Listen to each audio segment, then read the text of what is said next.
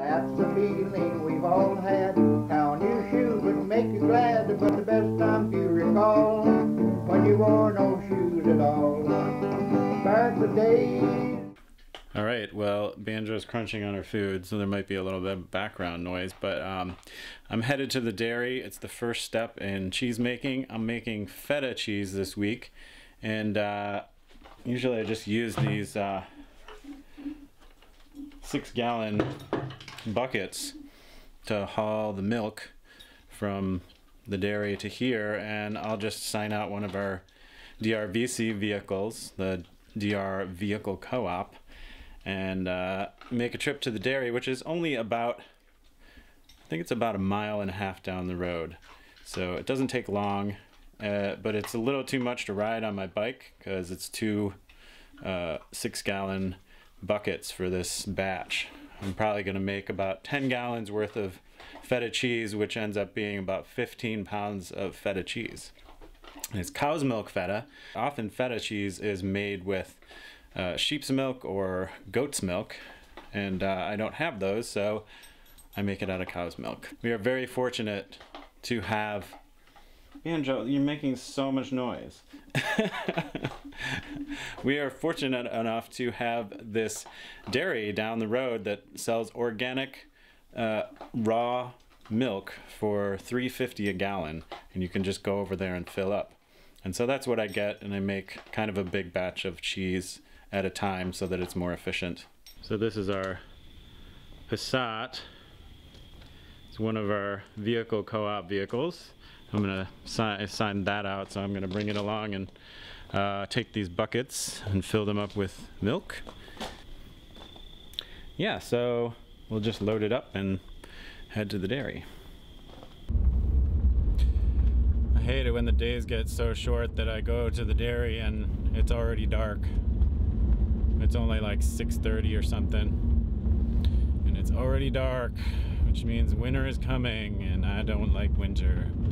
This is the dairy we're coming up on here.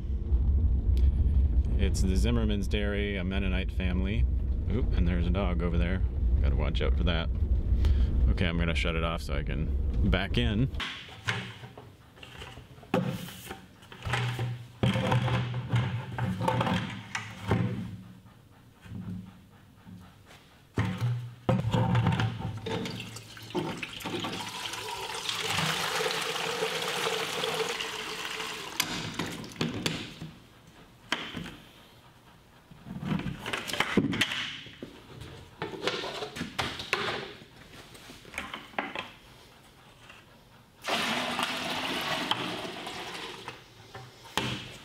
All right, I filled them up somehow. so ready to put the lids back on and pay for it and get out of here. This milk was fresh from the cows just this evening because they get this thing emptied pretty much uh, every day. A small dairy and this is all the milk that they get in a day. I'm a professor of psychology and philosophy at the University of California in Berkeley. Well, it's kind of a gloomy day, and it's pretty much a perfect day to make cheese and be inside. So we're going to take that milk that we got last night, and the first step in making the feta cheese is to heat up the milk. And because I do a large volume of milk and cheese at a time when I do cheese making so that it's just more efficient, I usually heat up the milk uh, by doing it in portions. And because I don't have a vat that's big enough to hold 10 gallons of milk, I heat up a small portion of it and add it to the rest of the milk. And because I'm only heating it up to about 90 degrees, it's pretty easy to do that. It would be a lot harder if I was heating it up to like 180 or something. But, um, but this seems to work really well and it doesn't take very long.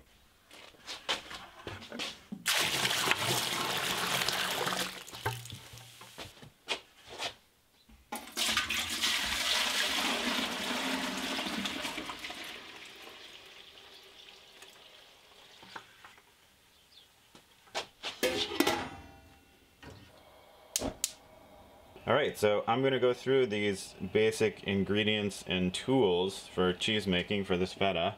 And uh, first of all is this thermometer, which I've found very useful and is pretty uh, vital in cheese making because you always want to know uh, the temperature that you're shooting for and you're uh, heating up your milk. This one in particular is really good quality. I don't know what it was originally uh, made for, but I got it online and it was relatively affordable and it seems to be really good quality. I was surprised because I got another brand um, and it pretty much busted the second that I got it and this one has held up over many years and it only takes a few batteries, uh, small like watch batteries, and they seem to last uh, more than a year so you don't have to replace the batteries very often.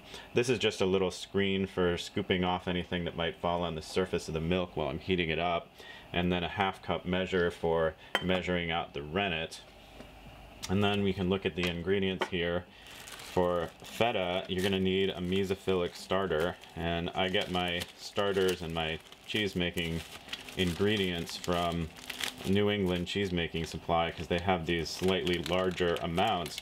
And if you're doing something like homesteading and you want to make larger amounts of cheese to put in your freezer uh, this is a great way to do it cheaply because you can uh, you know this says it will set up up to 250 gallons. If you're making uh, your cheese with raw milk you get a much better uh, yield out of this amount of starter. So I think you can get about twice as much, and I don't know if the 250 gallons is for raw milk or if that's for the pasteurized milk, but it goes twice as far if you're using raw milk because the raw milk has a lot of um, its own natural bacteria in it that basically are the same thing as the mesophilic starter. This is lipase, which you can also buy at cheese making supply stores, and um, Cow's milk doesn't have the same qualities as goat's milk does, which is a more traditional way to make feta. And so you add this lipase, and it basically will allow the, it's an enzyme that allows the uh, cow's milk to sort of change and develop some of the qualities of goat's milk. Um, it has a little bit more of the goaty flavor, and it uh, also makes the, the cheese white instead of like a yellowish color. And then we have, of course, rennet, which is a ingredient in most cheeses. And this is the coagulant. And this stuff that I use for these fresh cheeses is this vegetable-based rennet that you can buy and also in large amounts. And I just uh, sort of measure out a smaller amount and fill up this little bottle for my cheese making every time it runs low. All right, well this is plenty hot, so it's ready to dump into the rest of the milk.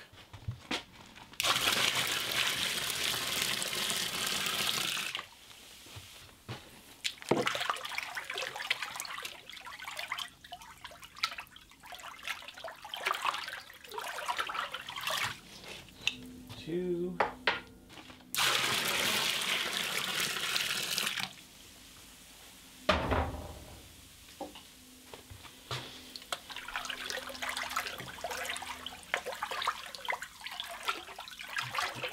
86, 85.